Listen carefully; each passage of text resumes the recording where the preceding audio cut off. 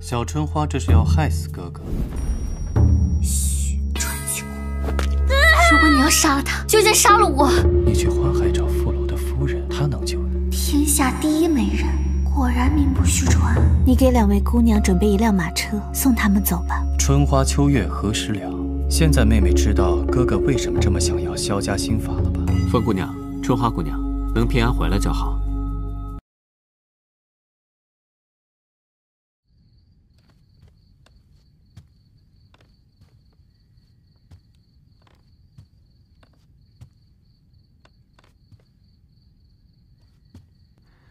看来这春花姑娘的身份真是让萧兄烦恼。只是让萧兄烦恼的是春花姑娘身份的黑白，还是与花家的婚约之事啊？秦兄，我已经绞尽脑汁都想不清楚，你还在这取笑我？我就是你的大脑。当大脑知道自己要工作的时候，为什么不开心呢？我最近听到太多关于春花姑娘的声音，实是不能判断孰对孰错。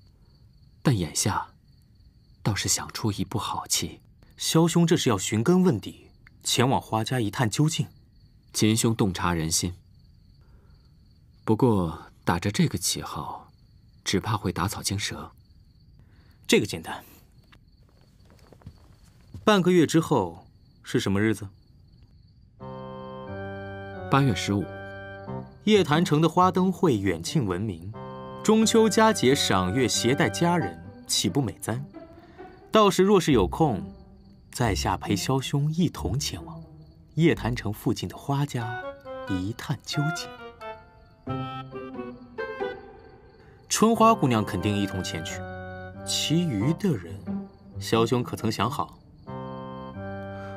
风姑娘同去，毕竟她是站出来指出春花姑娘的人。没了。人多，不好行事。做戏也得做得像一点。我堂堂一个东山派少掌门，赏花赏月，没有美女作陪，成何体统？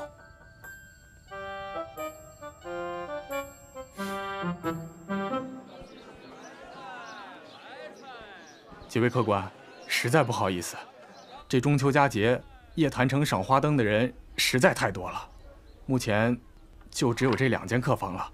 还请几位多担待。哟，那这太不巧了吧？那你说这两间房怎么安排啊？还能怎么分？自然是你二人一间，我们女眷一间。不行，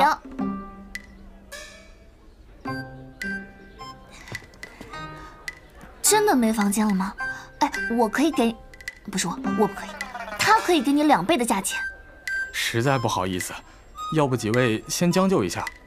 哦，今日亥时之后会有些人离开，到时候给几位客官留着。既然这样，那就这么安排吧。哎，